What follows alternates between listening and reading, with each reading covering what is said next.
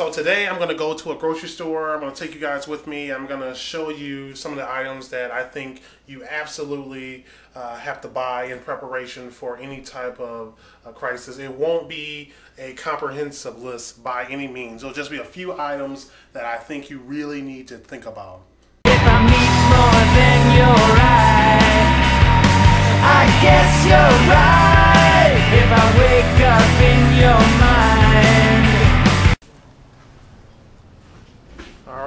here. Essential items. All right, the first thing I'm going to look for is alcohol, rubbing alcohol. I'm nowhere near it.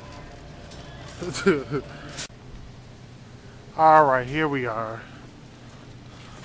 I don't know a lot about the medicine and any of those home remedies and or any of those tricks, so that's definitely a weakness in my strategy in preparing for any type of emergency. So that's something I'm just I'm definitely gonna have to work on.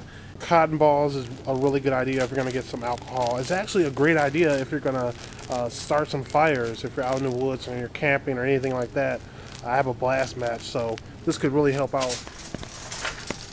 Here's another item that I don't hear people talking enough about. Hydrogen peroxide. Okay, you can use this as a first aid. Yeah, you can use this for a lot of different things. Address cuts and all kinds of things. So I would actually have, make sure you have plenty of this stuff. And of course there's rubbing alcohol. You cannot have too much of that. Okay, here we are, candles. I don't know if I want to get something with a lot of oil because I'm worried that, you know, it might spill over and start a fire.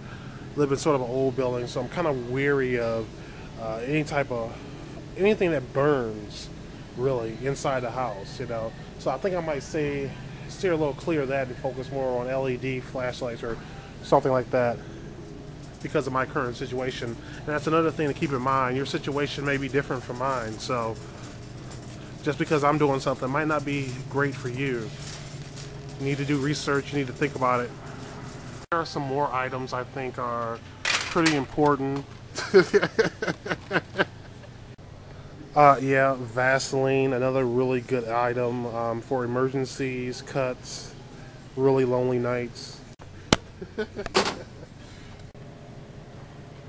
okay, if you guys see the baking soda, please let me know baking soda, baking soda, baking soda.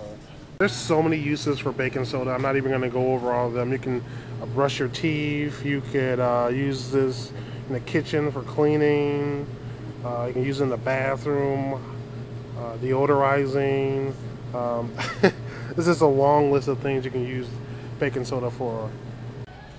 So there you go. There's a few things you might want to consider the next time you go to the grocery store.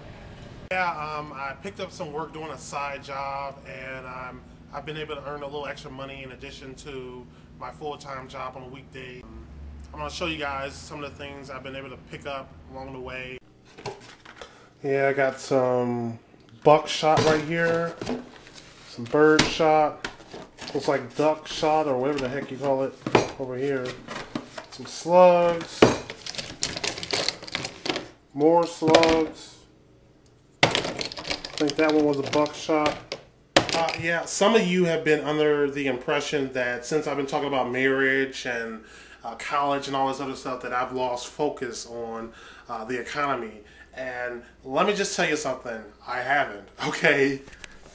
I'm still very much focused on the economy and economic preparation.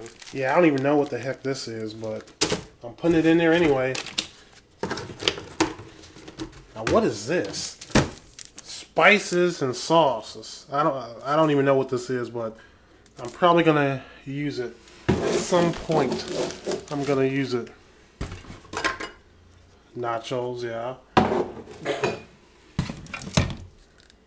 I think somebody was on to something when they said spices and sauces are to be really important because you can have like the most mundane item but if you have some sauces oh wow sweet and sour definitely want sweet and sour.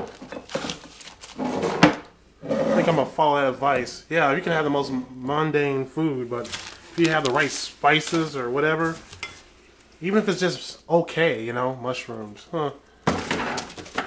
Whatever it is, I'll eat it. Yeah, somebody said it might be a good idea to fill these cashew jars up with some actual food. So, gonna try that out. Maybe these beans will last long. Oh wow, it's just for thought I would have did that in the beginning, but I definitely did not. Hmm. What the hell? I don't care. If I'm starving, I'll eat it. Water chestnuts. Looking forward to trying something new. I'll say that much. Blueberry jam. Cool. Garlic salt. People have been saying that might be a good item. Beans. You know how I feel about beans. Cane sugar, golden sugar, brown sugar. Okay, two questions. One, are you buying into all this talk about recovery?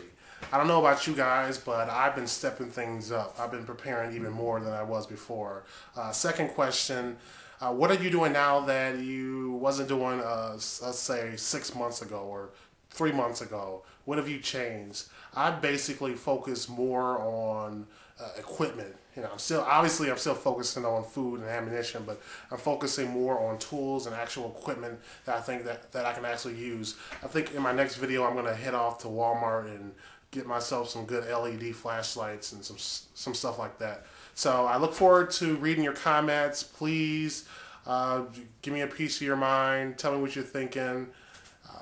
I look forward to reading these comments, and I hope you guys have a really good day. Bye.